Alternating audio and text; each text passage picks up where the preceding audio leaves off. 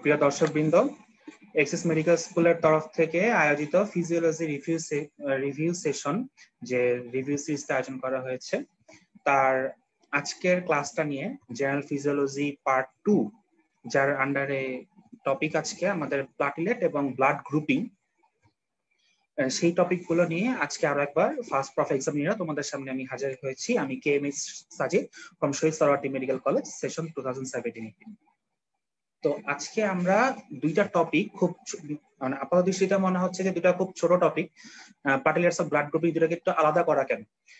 এই দুটাকে আলাদা করার একটা কারণ হচ্ছে যে এই দুটো টপিক একই সাথে রিটেন ভাইভা অবজেক্টিভ এবং অস্পিক চারটা টপিকে এই দুইটা জিনিস সমানভাবে আছে। হ্যাঁ এই জন্য এই দুটো টপিক একটু আলাদাভাবে নিয়ে একটু আলাদাভাবে সময় দেওয়ার কারণটাই হচ্ছে যে এই জিনিসগুলা, যাতে করে তোমরা একটু আলাদাভাবে বুঝতে পারো তোমরা কনসেপশনটা যাতে একটু ক্লিয়ার হয়, আর যেহেতু টপিক দুটো, আমি ছোট দুটো টপিক আজকে আলাদা করে নিছি, চেষ্টা করব যে এখানে যে কনসেপচুয়াল যে ব্যাপারগুলো আছে, সেগুলো একটু ক্লিয়ার করে দিতে। আর রিটার্ন যে কোশ্চেনগুলো থাকবে এক্সক্লুসিভলি সেই রিটার্ন কোশ্চেনগুলো আমি চেষ্টা করব যে রিটার্ন যে সেশনটা হবে, এই সেম টপিকের উপরে, এই সেম টপিকের উপরে আলাদা রিটার্ন সেশন হবে তোমাদের জন্য। সেই রিটার্ন সেশনে চেষ্টা করব হচ্ছে যে, যাতে আমরা সেই রিটার্নের কোশ্চেনগুলো ক্লিয়ার করে নিতে পারি। তো উইদাউট ফার্দার এডু আমরা শুরু করে দিই। প্রথমে হচ্ছে প্লাটিলেট প্লাটিলেট নিয়ে আমরা কথা বলব। প্লাটিলেটটা হচ্ছে আমাদের ব্লাডের যে তিনটা ফান্ডামেন্টাল সেল থাকে আরবিসি ডাব্লিউবিসি এবং প্লাটিলেট তার মধ্যে প্লাটিলেটটা হচ্ছে আমরা সাধারণত সিরিয়ালে তিন নাম্বারটা বলি, তিন নাম্বার হচ্ছে প্লাটিলেট প্লাটিলেট আমরা বাংলা জানি অনুচক্রিকা বলি বাট আমরা এখন আর অনুচক্রিকা বলব না, আমরা বলব প্লাটিলেট প্লাটিলেট যেগুলো আমরা যদি ব্লাড সেল নিয়ে কথা বলি, প্রথমে আমরা সেই ব্লাড সেলের কাউন্টটা জানতে চাই। যেমন আমরা আরবিসি তো আমরা কাউন্ট শিখছিলাম, আমরা যে আগের দিন যে ফিজিওলজি রিভিউ ক্লাসটা আমরা পাইছি জেনারেল ফিজিওলজি এবং ব্লাডের উপর, সেখানে আমরা যখন আরবিসি ডাব্লিউবিসি এগুলো নিয়ে কথা বলছি, তখন হচ্ছে কি আমাদের, আমরা আরবিসির কাউন্ট ডাব্লিউবিসির কাউন্ট বা আবার এর মধ্যে যে ডিফারেন্সিয়াল কাউন্টগুলো সেগুলো কিন্তু আমরা জোর দিয়ে দেখছি বা পড়ার চেষ্টা করছি। আজকে আমরা যেহেতু প্লাটিলেট নিয়ে কথা বলতেছি প্লাটিলেটে হচ্ছে আমরা নর্মাল কাউন্টটাকে জানি। আমি যদি স্যামসাং স্যামসাং রাইটস এর রেফারেন্সটা দিই, সেখানে বলা আছে one hundred and fifty thousand থেকে ফোর হান্ড্রেড থাউজেন্ড মানে হচ্ছে দেড় লাখ থেকে চার lakh per microlitre of blood তো এটা হচ্ছে প্যাটেরিয়ার নর্মাল কাউন্ট মুখস্থ রাখব, এটা অবজেক্টিভের জন্য এবং ফাইবার জন্য খুব ইম্পর্টেন্ট এরপরে আমরা যদি বলি প্লাটিক একটা মরফোলজি মরফোলজি জিনিসটা আসলে খুব যে বেশি ইম্পর্টেন্ট তা না। ইন্টারনাল পরীক্ষাগুলোতে লাগে, তবে প্রফে সাধারণত কম আসে। রিসেন্ট হিস্ট্রিতে সাধারণত সেল মরফোলজি নিয়ে কথাবার্তা কমই হয়েছে একমাত্র যে আরবিসির যে একটা ম্যাচুরেশন স্টেপ ওইটা ছাড়া সাধারণত মরফোলজি না আসে না। তারপর আমরা যদি ছোট করে জানি যে সেল সাইজ সেল শেপ এগুলো কেমন প্লাটিক সেল সাইজ হচ্ছে টু থেকে ফোর মাইক্রোমিটার সেল শেপটা হচ্ছে রড বা ওভাল শেপ এরকম স্ফেরিক্যাল আর এটা সাধারণত নিউক্লিয়াস সাধারণত না প্লাটিলেটে কোনো নিউক্লিয়াস থাকে না। একমাত্র কি ডাব্লিউবিসি তে নিউক্লিয়াস থাকে প্লাটিলেট এবং আরবিসি তে নিউক্লিয়াস থাকে না। সাইটোপ্লাজমের কথা যদি চিন্তা করি, সাইটোপ্লাজমে আমরা যদি হিস্টোলজিক্যাল স্ট্রাকচার অফ প্লাটিলেট যদি দেখি, আমরা মাইক্রোস্কোপের নিচে আমরা সাইটোপ্লাজমে দুই ধরনের লেয়ার দেখতে পাই, এটা হচ্ছে হায়ালোমিয়ার এটা হচ্ছে গ্রানুলোমিয়ার হায়ালোমিয়ারটা কি? হায়ালোমিয়ারটা হচ্ছে যে আমরা সাধারণত কি করি হিস্টোলজি স্লাইড গুলোতে আমরা একটা ভায়োলেট বা পিঙ্ক কালার এবং ব্লু কালার দিয়ে ডিফারেন্সিয়েট করার চেষ্টা করি। হায়ালোমিয়ারটা হচ্ছে ব্লু স্টেইন এবং হায়ালোমিয়ারটা ধরো, একটা সাইটোপ্লাজম একটা রাউন্ড শেপ তার পেরিফেরাল যে রিজিয়নটাতে সেটা হচ্ছে ব্লু কালার হয়ে থাকে। এটা বলে আমরা হায়ালোমিয়ার এখানে গ্র্যানিউলগুলো ব্লু কালারের হয় এবং এখানে মিলি টিউবুলগুলো থাকে, বিভিন্ন ধরনের টিউবুলার সিস্টেম থাকে। আর যে গ্র্যানুলোমিয়ার সেন্ট্রাল যে একটা পার্পল রিজিয়ন এটাকে বলা গ্র্যানুলোমিয়ার এখানে হচ্ছে কিছু পার্পল গ্র্যানিউলস দেখা যায় হিস্টোলজিক্যাল স্ট্রাকচার হিসেবে। আর ন্যাচারালি সাইটোপ্লাজমটা হচ্ছে ব্লু কালারের এখন যদি আমরা কেমিক্যাল কম্পোজিশনটা দেখি প্লাটিলেটে মানে বা এটাকে তোমাকে অন্যভাবে জিজ্ঞেস করতে পারে যে প্লাটিলেট ন্যাচারালি কি কি কেমিক্যালসগুলো রিলিজ করে। তার মধ্যে সবচেয়ে হট দুইটা কেমিক্যাল হচ্ছে থ্রম্বোক্সান এ টু এবং হিস্টামিন আর সেরোটোনিন এই এই তিনটা কেমিক্যাল কিন্তু না বলে তুমি কিন্তু যেতে পারবে না। যদি তোমাকে জিজ্ঞেস করা হয় যে প্লাটিলেট সাধারণত কি কি ধরনের কেমিক্যাল রিলিজ করে? Thromboxane A two histamine serotonin এর সাথে আরও কিছু আছে ব্লাড ক্লটিং ফ্যাক্টর হ্যাঁ প্লাটিলেট অ্যাডহেশন ফ্যাক্টর এই কিছু কিছু ফ্যাক্টর হচ্ছে কি? আমার প্লাটিলেট রিলিজ করে। আর রিটেনের জন্য একটা খুব ইম্পর্টেন্ট কোয়েশ্চেন হচ্ছে functions of platelet functions of platelet এটা আমরা সবাই জানি, আমরা ছোট্টবেলা থেকে পড়তেছি যে আমরা আমাদের বিজ্ঞান বইগুলা বায়োলজি বইগুলোতে পড়তাম যে কি বলে এটাকে? অনুচক্রিকার কাজ কি? আমরা সবাই এক কথায় মুখস্থ করতাম কি রক্ত জমাট বাঁধতে সাহায্য করা। দ্যাট মিনস ব্লাড কোয়াগুলেশনে হেল্প করে রাইট ব্লাড কোয়াগুলেশন মানে হচ্ছে কি রক্ত জমাট আমরা জানি, আমরা ফার্স্ট অফ এক্সাম নিয়ে যারা আছি, আমরা জানি। তো ন্যাচারালি এটা কাজ হচ্ছে কি ব্লাড কোয়াগুলেশন এছাড়া আরও কিছু ছোটখাটো কাজ আছে, সেটা আমরা এটা রিটেন কোশ্চেন রিটেন আমরা যখন আসব স্লাইড দেখা তখন আমরা এই অ্যান্সারটা স্লাইড আকারে আলোচনা করব। তো এটা এখন আপাতত থাকুক আমরা নেক্সট একটা টপিকে চলে যাই। নেক্সট যে টপিকটা আমি তোমাদের সাথে বলব প্লাটিলেট মানি প্লাটিলেট কথাটা শুনলেই আমাদের মাথায় প্রথমে এই ব্যাপারটা চলে আসে। ব্যাপারটা হচ্ছে হিমোস্ট্যাসিস আচ্ছা হিমোস্ট্যাসিস শব্দটা নিয়ে আমি একটু বলব, কারণ হচ্ছে যে এই ব্যাপারটা নিয়ে আসলে আমরা, আমি যখন ফার্স্ট ছিলাম আমার টিচার আমাকে মানে আমাদেরকে খুব বলতো যে, ভাইবার হলে, বা রিটেনেও হিমোস্ট্যাসিস আর হোমিওস্ট্যাসিস এই দুটো শব্দ মানে অল টাইম কি? ছেলেমেয়েদের গোলায়। কারণ একটা ব্যাপার হচ্ছে, আমরা ভাইবাতে সাধারণত নার্ভাস থাকি। ভাইবা না রিটেনের সময়, আমি যেমন পার্সোনালি রিটেনের সময় নার্ভাস থাকি। কারণ আমার হাতের লেখা ভালো না। তো এই জন্য রিটেনের সময় বলো ভাইবার সময় বলো যে হচ্ছে যে হিমোস্ট্যাসিস আর হোমিওস্ট্যাসিস শব্দ দুইটার মধ্যে কি? ছেলেমেয়েরা প্যাচ লাগায় ফেলে। তো তুমি একটু চিন্তা করে দেখো, তুমি যদি শব্দ দুইটার মানে বুঝো, শব্দ দুইটার মধ্যে যে প্রিফিক্স এবং সাফিক্স আছে, কথা এই দুইটা যদি তুমি আলাদা করে চিন্তা করো, তো তুমি কিন্তু কোনো ভুল করবে না। দেখো haemostasis haemo haem haematology haema এই প্রিফিক্সগুলো দিয়ে যখন আমরা কোনো শব্দকে ডিসক্রাইব করি, তখন সেটা কি অলওয়েজ কি? ব্লাড রিলেটেড আমরা যেমন শব্দের শেষে এমিয়া থাকলে এনেমিয়া ইউরেমিয়া হিমো হিমোগ্লোবিনেমিয়া বা হাইপার লিপিডেমিয়া এই কথাগুলো থাকলে আমরা যখন বুঝি ব্লাডের মধ্যে প্রেজেন্স আবার যখন শব্দের শুরুতে হিম, হেমো, হেমা এই শব্দগুলো থাকলে তখন আমরা কি বুঝি ব্লাড রিলেটেড কিছু একটা। আর দেখো হোমিওস্ট্যাসিস হোমিও শব্দের অর্থ কি? হোমিও মানে হচ্ছে একটা ইউনিফর্ম কন্ডিশন একটা একটা ইকুইলিব্রিয়াম কন্ডিশন হোমিও মানে হচ্ছে এইটা। আর স্ট্যাসিস মানে কি? Hemostasis stasis homeostasis stasis stasis মানে কি? স্ট্যাসিস মানে আটকে রাখা কন্ট্রোল করা মেইনটেইন করা। এটা হচ্ছে কি? স্ট্যাসিস তাহলে হোমিওস্ট্যাসিস শব্দ থেকে মানেটাই হচ্ছে বের করে ফেলা যায় যে একটা ইকুইলিব্রিয়াম কন্ডিশন স্ট্যাসিস মানে কন্ট্রোল করা মেইনটেইন করা। আর হিমোস্ট্যাসিস হিমোস্ট্যাসিস মানে হিম মানে হচ্ছে ব্লাড স্ট্যাসিস মানে আটকে রাখা মেইনটেইন করা। তো হিমোস্ট্যাসিস মানে কি? ব্লাডকে আটকে রাখা। এখন ব্লাডকে কখন আটকে রাখা? ব্লাডকে কেনই আটকে রাখা? উত্তরটা হচ্ছে যে যখন আমার ভেসেল রাপচার হবে, এখন প্রশ্ন হচ্ছে ভেসেল তো অনেক রকম আছে, কোন ভেসেল উত্তরটা হচ্ছে মাইনর ভেসেল মাইনর ভেসেল যখন রাপচার হবে, তখন যে ব্লিডিংটা আমাদের হয়, রক্ত যখন রক্তক্ষরণ হয়, সেটাকে আটকে রাখার জন্য যে প্রক্রিয়া, সেটা হচ্ছে কি? হিমোস্টেসিস এখন এটা একটা সংজ্ঞা আছে। সংজ্ঞাটা হচ্ছে spontaneous arrest of bleeding when minor vessels are ruptured by physiological process is called haemostasis এখন এখানে আমি সাধারণত সংজ্ঞা নিয়ে কথা বলি না। আজকে আমি কথাটা বললাম এই কারণে যে আমার কলেজে আমি যে এখানে পড়ি শহীদ সরাটি মেডিকেল কলেজ এটা মানে নট ফিলিং প্রাউড এটা one of the top government medical colleges তোমরা সবাই জানো। তো এখানে আমাদের টিচার আমাকে বলতো যে, আমাকে না আমাদেরকে বলতো যে, শুধু এতটুকু বললে হবে না যে spontaneous arrest of bleeding by physiological process তোমাকে সাথে যোগ করতে হবে spontaneous arrest of bleeding by physiological process when minor vessels are ruptured minor vessels are ruptured কারণ কি? লার্জ ভেসেলগুলো রাপচার হলে ওখানে আর হিমোস্টেসিস করা লাগে না। ওখানে যে পরিমাণ ব্লিডিং হয়, ওটা হিমোস্টেসিস এর প্রসেস দিয়ে বন্ধ হবে না। ওখানে তোমার ব্যান্ডেজ দেওয়া লাগবে হ্যাঁ কম্প্রেশন দেওয়া লাগবে, এটা সেটা। ব্লিডিং বন্ধ করতে আমরা যা করি ন্যাচারালি বাট আমাদের বডিতে যে মাইনর ভেসেলগুলো আছে, সেটা যদি কোনো ইন্টারনাল কারণই হোক বা এক্সটার্নাল কোনো আঘাতই হোক রাপচার হয়, তাহলে সেখানে ব্লাডের যে ব্লিডিংটা সেটাকে স্পন্টেনিয়াস অ্যারেস্ট করার জন্য কিছু প্রক্রিয়া অবলম্বন করে আমাদের বডি নিজের থেকে। এই জন্য বলে স্পন্টেনিয়াস কিন্তু সেটা শুধুমাত্র মাইনর ভেসেলগুলোর ক্ষেত্রে প্রযোজ্য। মাইনর ভেসেলগুলো যদি কাট হয় বা ড্যামেজ হয়, তো আমাদের সঙ্গে কিন্তু বলতে হবে যে spontaneous arrest of bleeding when minor vessels are rupture এই কথাটা যেন মনে থাকে, এটা যেন ভুল না হয়। তো আমরা দেখি হিমোস্টেসিস যেন কথা বললাম এটা ছোট করে রিভিউ করে ফেলি। যেখানে মূলত কি স্টেপে হিমোস্টেসিস হয়। হিমোস্টেসিস আমরা চারটা স্টেপ দেখতে পাই। প্রথম স্টেপের নাম হচ্ছে ভ্যাসকুলার স্প্যাজম বা ভ্যাসা কনস্ট্রিকশন সহজ করে যদি বলতে চাও ভ্যাসকুলার স্প্যাজম বা ভ্যাসা কনস্ট্রিকশন সেকেন্ড স্টেপটার নাম হচ্ছে formation of platelet plug third স্টেপের নাম হচ্ছে ব্লাড কোয়াগুলেশন আর ফোর্থ স্টেপের নাম হচ্ছে fibrous organisation or dissolution of blood clot এখন কোনটার মানে কি? কোনটার মানে কি? সেটা যদি আমি বলি, তাহলে প্রথমে বলছে ভ্যাসকুলার স্প্যাজম বা ভ্যাসা কনস্ট্রিকশন আমাদের বডিতে সাপোজ কি হয়? মাইনর ভেসেল রাপচার এই কথাটি তো আমি বলছি। তখন মাইনর ভেসেল যেটা রাপচার হয়, তখন কি? সেখানে ভেসা কনস্ট্রিকশন হয়। সেখানে ভেসেলের যে মাস্কুলেচারটা আছে, সেটা স্প্যাজম হয় কন্ট্রাক্ট করে। ভেসেল কনস্ট্রিকশন হয়। এটা একটা স্পন্টেনিয়াস প্রসেস এটাকে বলা হচ্ছে কি? ভ্যাসকুলার স্প্যাজম সেটা নার্ভাস কারণে হতে পারে পেইন সেন্সেশনের জন্য। লোকাল মায়োজেনিক রিফ্লেক্সের কারণে হতে পারে। ভেসেল কাটা গেলে মাসল তার এগেনস্টে রেসপন্স করে। স্প্যাজম করে। আবার হিউমোরাল কারণ মানে সেখানে যে একটা ভেসেল একটা ভেসেলের মধ্যে যে এন্ডোথেলিয়াম থাকে ইনার লেয়ারটা সেটা কাটা গেলে কিছু কেমিক্যাল রিলিজ হয়। সেগুলোর কারণে কি? ভ্যাসকুলার স্প্যাজম হয়। নেক্সট কোশ্চেনটা নেক্সট স্টেপটা কি? নেক্সট স্টেপটা হচ্ছে platelet formation of platelet plug formation platelet প্লাগটা একটু এলাবোরেট আমি সেখানে একটু পরে আসতেছি। এখানে তিনটা স্টেপে হয়। এটা হচ্ছে প্লাটিলেট অ্যাক্টিভেশন প্লাটিলেট অ্যাগ্রিগেশন আর হচ্ছে কি প্লাটিলেট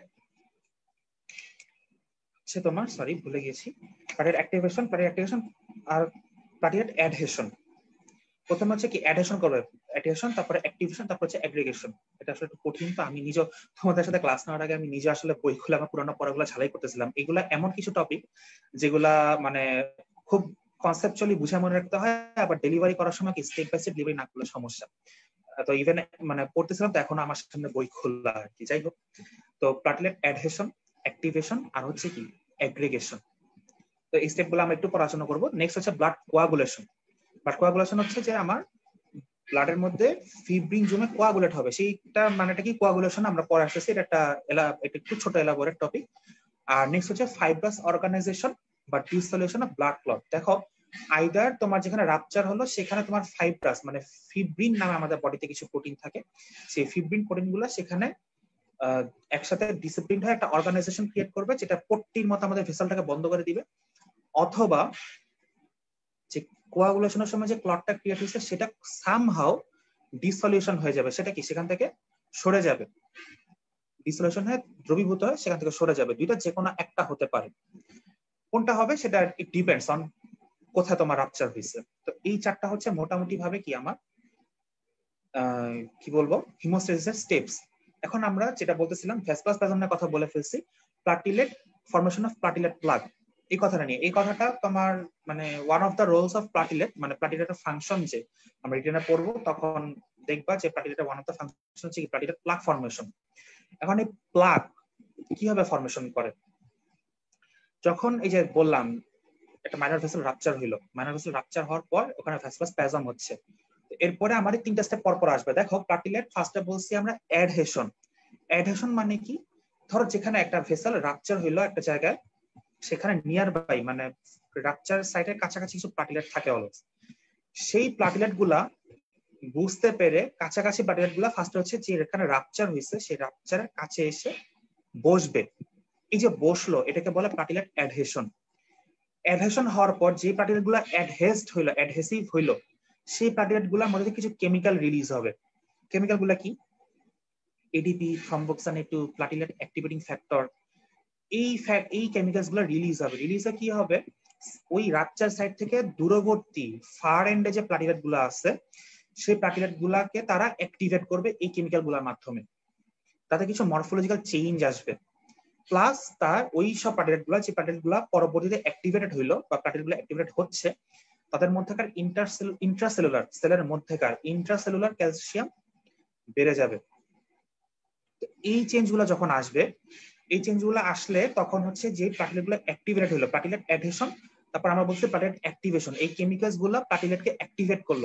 অ্যাক্টিভেট করার পর এই যে সেলের মধ্যে যে ইন্টারসেলুলার ক্যালসিয়ামটা বেড়ে গেল, এই ক্যালসিয়ামটা একটা বিশেষ ধরনের কেমিক্যাল ক্যালসিয়াম প্রভাবে একটা বিশেষ ধরনের কেমিক্যাল রিলিজ হবে।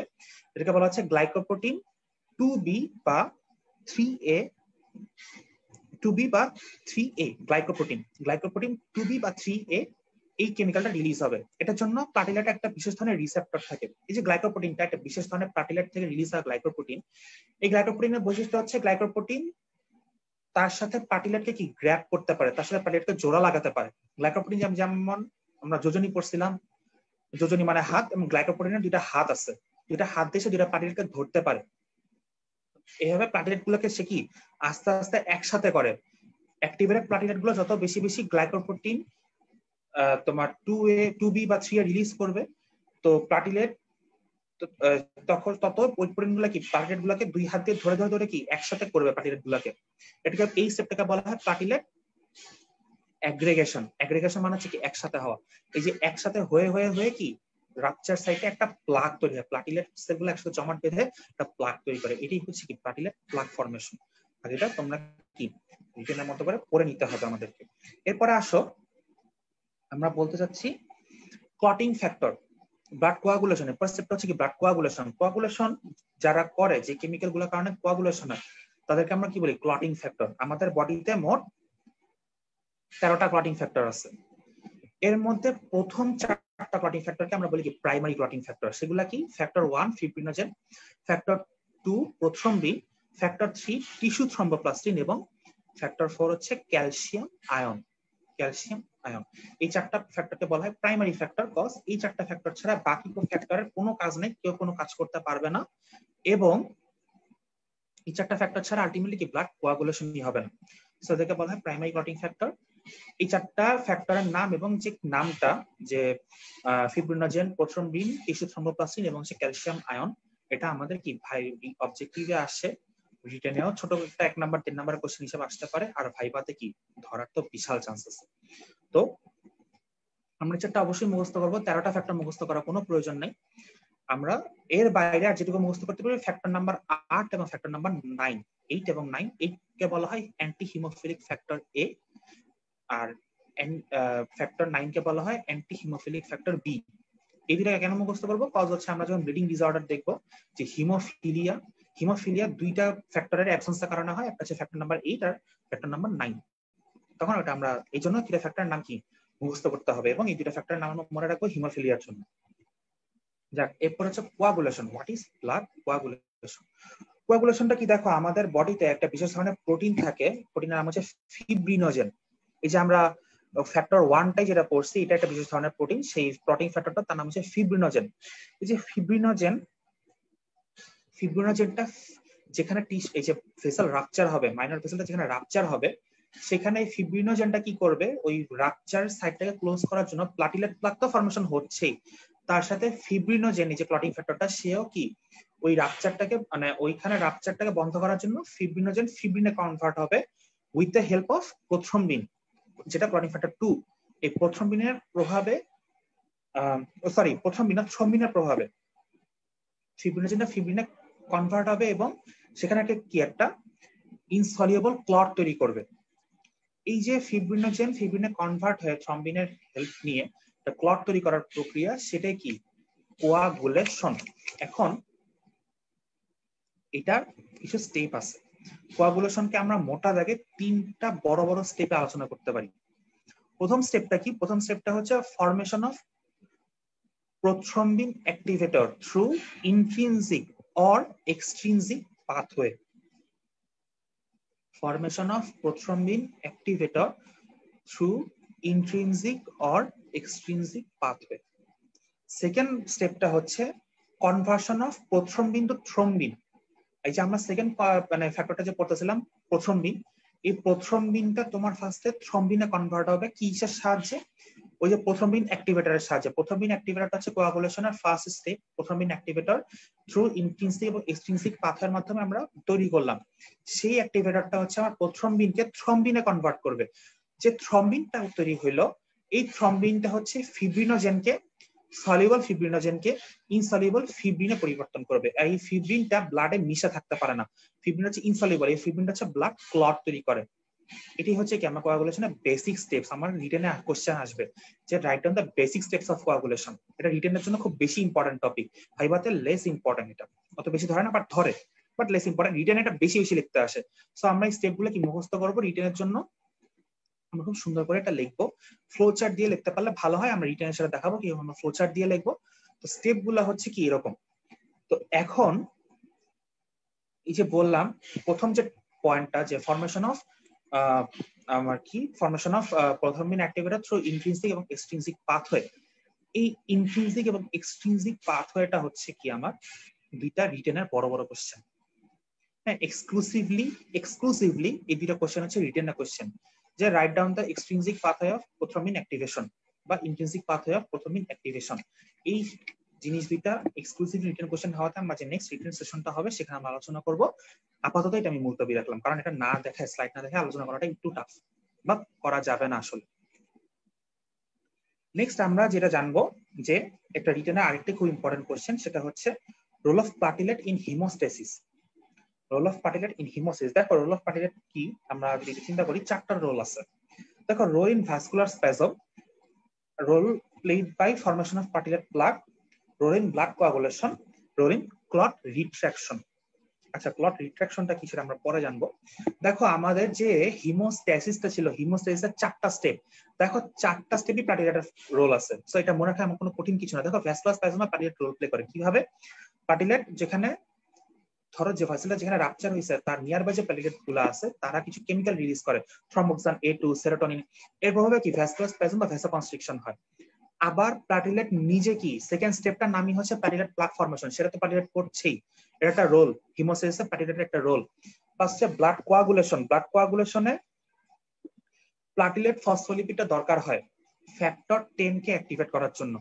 এটা একটা স্পেসিফিক একটা উত্তর যে ব্লাড কোয়াগুলেশনের যে আমার ইন্টেন্সিভ আর এক্সটেন্সিভ পাথওয়ে দুইটা আছে, সেই পাথওয়েতে যখন ফ্যাক্টর টেন কে অ্যাক্টিভেট করতে হয়, তখন কি প্লাটিলেট ফসফোলিপিডের হেল্পটা লাগে, যে জিনিসটা অ্যাকচুয়ালি প্লাটিলেটের মধ্যে স্টোর করা থাকে।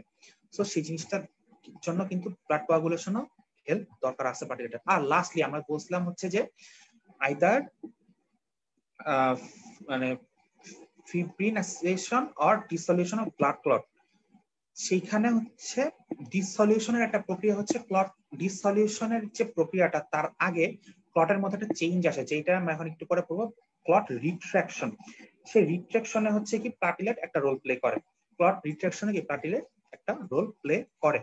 সো আমার চারটা স্টেপে কি প্লাটিলেট দরকার আছে। এই জন্য পুরো যে হিমোস্ট্যাসিস সে পুরো হিমোস্ট্যাসিসেই আমার কি প্লাটিলেট খুব দরকারি একটা কি? সেল মানে আলটিমেটলি হিমোস্ট্যাসিস বলো বা ব্লাড ক্লটিং বলো, রক্ত জমাট বাঁধা, এই যে প্রক্রিয়াটা, এই পুরো প্রসেসে কি প্লাটিলেট একটা সেল মানে প্লাটিলেট মানেই আমাদের মাথায় এই জিনিসগুলাই বারবার ঘোরাফেরা করবে। ঠিক আছে?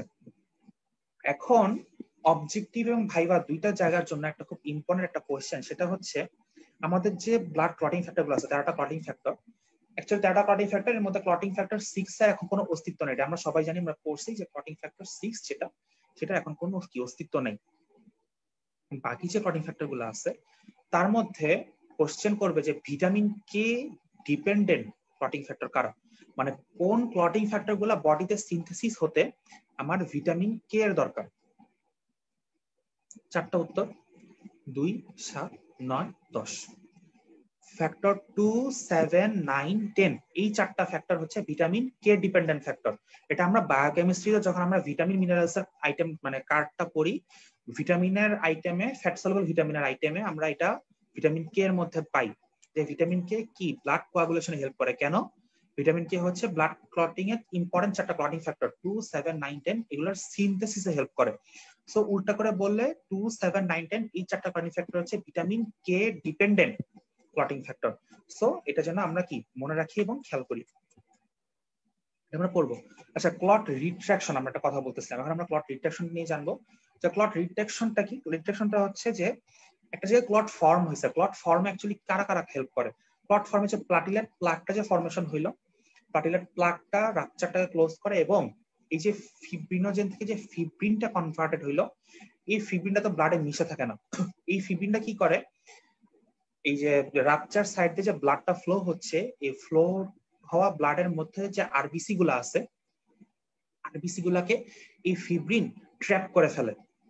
এই আরবিসি ফিব্রিন মিলে একটা ফিব্রিনের মেশ একটা জালক একটা ফিব্রিন মেশ তৈরি করে। এই ফিব্রিন মেশটা হচ্ছে কি যে ব্যান্ডেজের মতো পট্টির মতো আমার ভেসেলের রাপচার সাইডে কি লেগে যায়? এইভাবে ক্লটটা ফরমেশন হয়? এখন এই যে ক্লটটা ফরমেশন হইল, এর চার পাঁচ মিনিটের মধ্যে, কিছু মিনিটের মধ্যে ক্লটটা কি করে? স্কুইজ করা শুরু করে। ক্লটটা একটা বড় জায়গা জুড়ে একটা নরম একটা ক্লট ফার্স্টটা ফরমেশন হয়।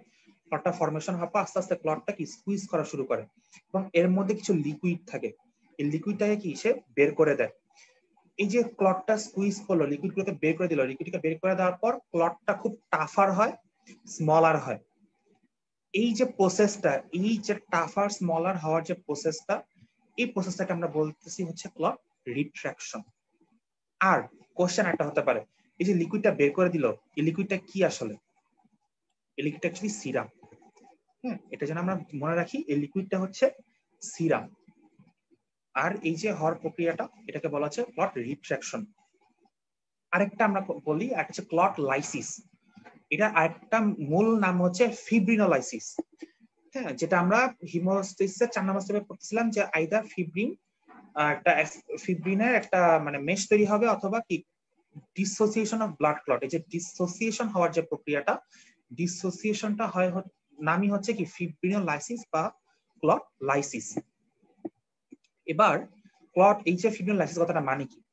এই যে যে ক্লটটা যে ফিব্রিন এবং প্লাটেলেট প্লাগ মিলে যে ক্লটটা তৈরি হলে ক্লটটাকে আমি এমন কিছু মানে ফিজিওকেমিক্যাল প্রসিডিওর অবলম্বন করব। যেমন ক্লটটা ক্লট থাকবে না, এটা আবার কি? আমার ব্লাডের সাথে মিশে যাবে। হ্যাঁ এই ব্যাপারটাই হচ্ছে কি আমার ফিব্রিনোলাইসিস এটাই হচ্ছে আমার মানে ফিব্রিন যে মানে তৈরি হয় ফিব্রিনকে আমি এমন কিছু কেমিক্যাল প্রসিডিউর অবলম্বন করি। এই কেমিক্যাল প্রসিডিউরগুলো তোমাদের লিখতে আসে না, খুব একটা জিজ্ঞাসা করেও না। তারপরেও আমি হচ্ছে চেষ্টা করব যেটা রিডেন সেশনে যখন এটার স্লাইড দিয়ে ছবিগুলো বুঝাতে যে বিশেষ করে ফিব্রিনোলাইসিসের যে প্রসিডিউরটা এটা আমি দেখাতে চেষ্টা করব। যে ফিব্রিন কীভাবে মানে ফিব্রিনোলাইসিস হয়ে ফিব্রিনা জেন হয়ে আবার ব্লাডের সাথে মিশে যায়।